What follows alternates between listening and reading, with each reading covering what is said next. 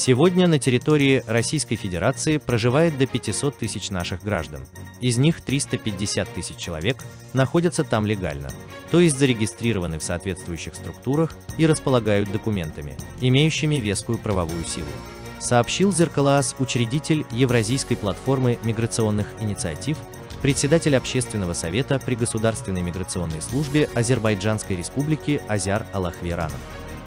Напомним, что Российское Министерство внутренних дел потребовало от стран СНГ, чтобы свыше 1 миллиона их граждан, нелегально находящихся в России, до 15 июня покинули РФ. Такое заявление сделал в пятницу, 16 апреля, заместитель главы МВД Александр Горовой на заседании Межпарламентской ассамблеи СНГ. Если мы с вами эту численность до 15 июня не уберем, эти люди будут подвергнуты наказанию вплоть до выдворения и закрытия для них границ, заявил он. К большому сожалению, говорит Аллах Верянов, среди наших мигрантов есть и те, что проживают там незаконно по различным причинам, у кого-то просрочены документы, кто-то намеренно проживает там нелегально, имеет какие-то проблемы с властями и так далее. В любом случае, российское правительство анонсировало, что до 15 июня порядка 120 тысяч наших граждан должны покинуть пределы этой страны в одностороннем порядке. И если с декабря прошлого года действовал мораторий на выезд из страны, который распространялся и на наших граждан.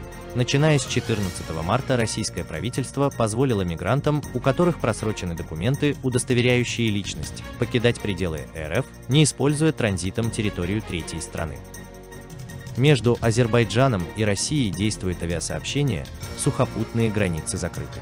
Это значит, что после 14 марта любой желающий гражданин Азербайджана с просроченными документами может покинуть пределы РФ посредством авиарейсов. Но мы понимаем, что авиарейсы не всегда доступны, и по этой причине некоторая часть наших граждан остается в России, дожидаясь лучших времен, когда откроются сухопутные границы. Однако пока еще нет официальной информации по поводу открытия сухопутной границы, а потому следует ожидать, что после соответствующего требования МВД России сухопутные границы тоже откроются в более интенсивном режиме. Не так, как это было раньше, раз в месяц, но, скажем, дважды в неделю, чтобы наши нелегальные мигранты, которые находятся в этой стране с просроченными документами, могли спокойно пересечь границу и вернуться в страну, сказал он. До 15 июня нелегальным мигрантам предоставлен своего рода временной лимит нахождения в Российской Федерации.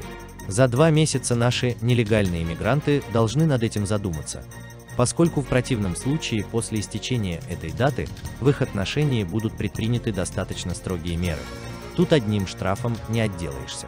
Это и факт депортации, и запрет на въезд на территорию Российской Федерации в ближайшие 5-10 лет мы тоже можем как-то помочь нашим нелегальным мигрантам, в частности, обеспечить их соответствующими документами, полагает Аллахверянов.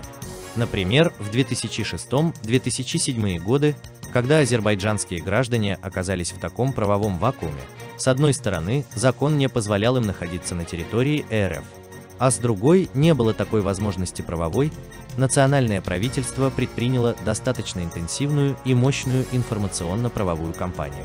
На местах в крупных городах России создавались правовые центры, куда они могли обращаться, здесь оказывалась соответствующая правовая поддержка, в том числе и в контексте обеспечения их соответствующими документами. Думаю, этот опыт можно реализовать и сейчас. Диаспорские организации, дипломатические структуры, а также полевые структуры службы ОСАН могут организовать предоставление новых документов нашим, обеспечить их паспортами и так далее. В этом вопросе, думаю, можно активно поработать. Два месяца – небольшой срок, но для того, чтобы обеспечить документами некоторую часть наших мигрантов, времени достаточно.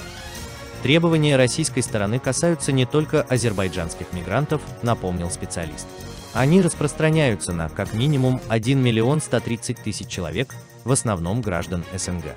Главным образом Украины, а также Казахстана, Молдовы, Грузии, Армении и так далее. Азербайджан входит по этому показателю в первую пятерку стран, занимает четвертое место. Понятно и то, что достаточно сложно для российского правительства создать тот механизм, на основе которого будут выявляться нелегальные мигранты. И по этой причине упомянутое требование рассчитано в первую очередь на то, чтобы люди сознательно и добровольно покидали территорию страны. Тем самым правительство как бы освобождается от некоторой части груза нелегальных мигрантов. Словом, определенная часть заявленных 120 тысяч нелегальных мигрантов до этого срока может быть обеспечена документами, а другая покинет РФ. Безусловно, это может создать некоторую напряженность на местном рынке труда. Поскольку большая часть этих людей не имеет работы, и вернувшись в страну люди будут трудоустраиваться. Но по большей части вернувшиеся в Азербайджан именно в рамках этого требования будут дожидаться лучших времен для того, чтобы снова отправиться в Россию. То есть имеющие проблемы с документами люди будут их решать и дожидаться возможности для въезда в РФ. Пока из-за пандемии въезд в соседнюю страну закрыт. Полагаю, что большая часть нелегальных мигрантов при возвращении в Азербайджан будет думать о том, чтобы по истечении определенного времени вернуться в РФ, чтобы работать там уже на легальной основе.